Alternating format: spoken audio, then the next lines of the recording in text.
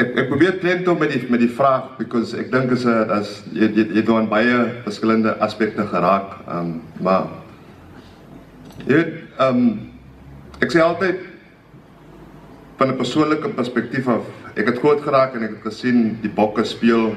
Ek het groot geraak en gesien 'n ou soos Dani Gerber speel, Brighton doen die flipvlakke, Chester Williams speel en ek was weet die, ek was atleet Maar toe ek op hoërskool kom, toe begin ons rugby te speel. Toe ek beskiklik love ek die game man, want daar's 'n gemeenskap daar, jy weet jy's kwai game en dan almal like jou en kry hier ietsie van net daai ietsie van net. Ehm um, so daar was 'n sense of community and environment wat in gepaard te gaan. En ek dink daai is die gees waarmee ek rugby begin speel het. En ek dink soos die game of soos die land evolve het, soos die game evolve het, ehm um, soos ek dink gemeenskappe evolve het, het het daai aspek in 'n mate verlore geraak. Jy weet waar nou is dit so georganiseer dat jy vind dat ons het nou 'n baasie kap om gees te bou. Jy weet waar van tevore ek meen Calvin speel teen Grabouw en as 'n gees. You know so ek ek ek, ek dink as jy kyk die woeste derbies, as jy kyk selfs hier as 'n derby is, die velde is gepak. Daar is oorvloed van mense. Um en Ek dink kom ek die storie so so of jou vraag so beantwoord om te wys dat ek dink die uniekheid van rugby in Suid-Afrikaanse in ons ek dink aan ons fibre in ons as mense. Het, ek dink rugby het so 'n sentrale rol gespeel in die evolusie van Suid-Afrika dat daar is baie emosies daarin daar's baie emotions attached to this game in particular.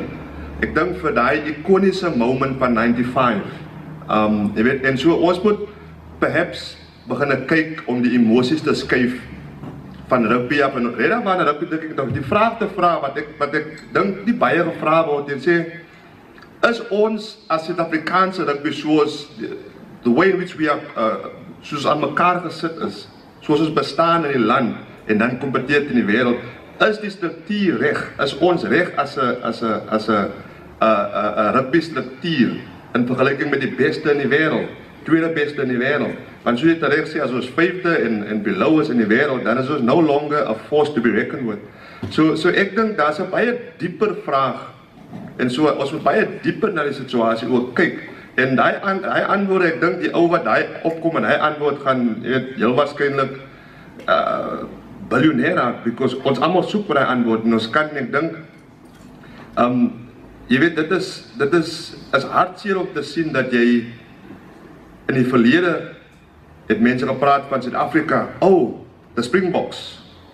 Deesdae as jy oor see is of waar ook al is of ons sê punt kom, kom hier so en hy praat Suid-Afrika is rugby nie, nie meer sinoniem met Suid-Afrika nie.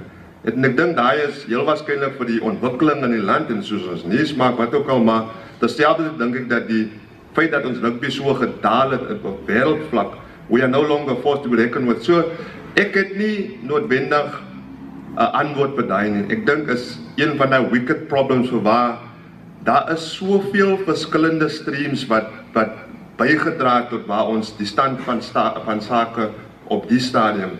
Dit is baie moeilik om een te identifiseer. Ons kan nou sê is Alistair Coetzee laas jaar. Um kyk, kom kom ons vat Alistair Coetzee. Gefire Rightly so. You can never defend a record like that. Ek ongeag wie dit is wat wat coach is, jy kan nie is basies onmoontlik om daai rekord te verdedig. Ja?